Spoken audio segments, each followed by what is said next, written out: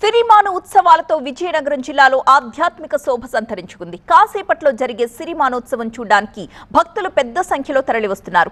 పైడి తల్లి అమ్మవారికి రాష్ట్ర ప్రభుత్వం తరపున మంత్రి కొండపల్లి శ్రీనివాస్ పట్టు వస్త్రాల్ని సమర్పించారు. కుటుంబ సమేతంగా అమ్మవారిని దర్శించుకుని ప్రత్యేక పూజలు చేశారు. అమ్మవారికి పట్టు వస్త్రాలు సమర్పించే అవకాశం తనకు దక్కడం అదృష్టమన్నారు కొండపల్లి శ్రీనివాస్.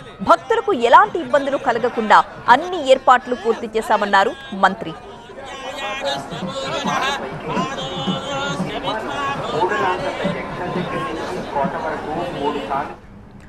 తొలిసారి అధికారికంగా నిర్వహిస్తున్న పండుగకు పకడ్బందీ ఏర్పాట్లు చేశామన్నారు మంత్రి సంధ్యారాణి.